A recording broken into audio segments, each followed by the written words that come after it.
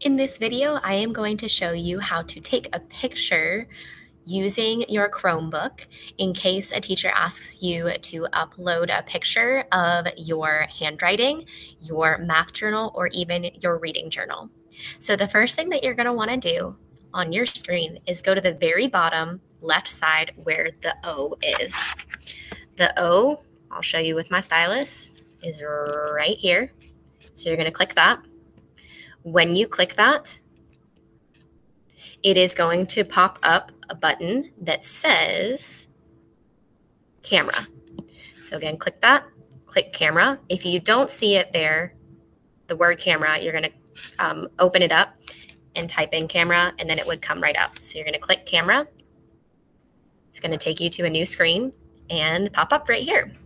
So whatever is in that picture right now is what my camera is going to take a picture of.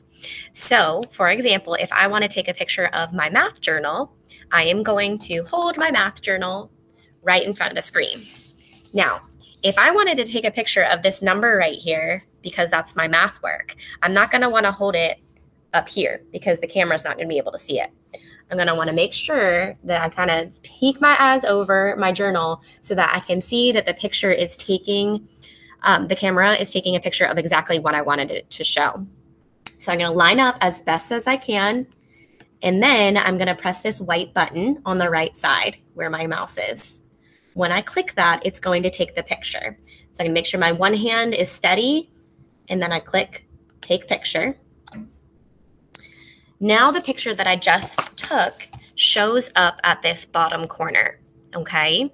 Now that's super important because sometimes it can seem like the picture disappeared, but when as soon as you take it, it should be right down here. So I'm going to click that. And now it pops up and shows me the picture I just took. Now, if I wanted to see a picture that I took earlier, I would just go over here to the side buttons. But this is the two plus two picture that I want to upload. So now I'm going to click up here where all these crazy little numbers are. When I double click or click once, I'm going to rename it. So this is 2 plus 2 because that was the assignment for today. Then I'm going to click outside of it. So the name is 2 plus 2. And now I'm going to press the exit button.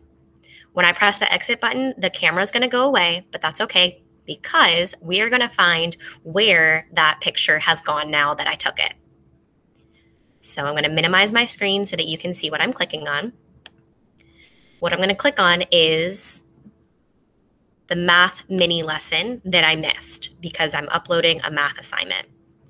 I'm going to scroll down to where it says add file. When I click add file, this next screen is going to show. This is asking me what I want to upload, and I want to upload that 2 plus 2 picture. So I'm going to click select files from your device.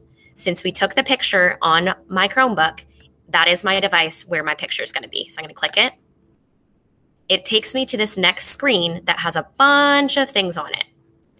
But what I'm going to do is I'm going to click downloads. My picture that I just took should be in my download. Oh, look, there it is. I renamed it to 2 plus 2, so that is my picture that I want. Now, once I found the name of the picture I want, I'm going to click it. It gets highlighted. I go down here to open and click it once. Now, as you can see, my 2 plus 2 picture is sitting right here. Now I have to go to the bottom and click upload. When I press upload, that picture is going to load. And now it is sitting right here in order for Ms. Buskill to get that picture, I'm going to have to fill the rest of the Google form in, and then I'm going to click submit. When I click submit, it's going to, oh, I forgot to answer to that. It's called 2 plus 2. Submit. It goes to the next screen to show me that I have submitted. So your response has been recorded. That means that that has emailed Ms. Buskill that I have submitted my work. So that is how you take a picture on your Chromebook and upload it into an assignment.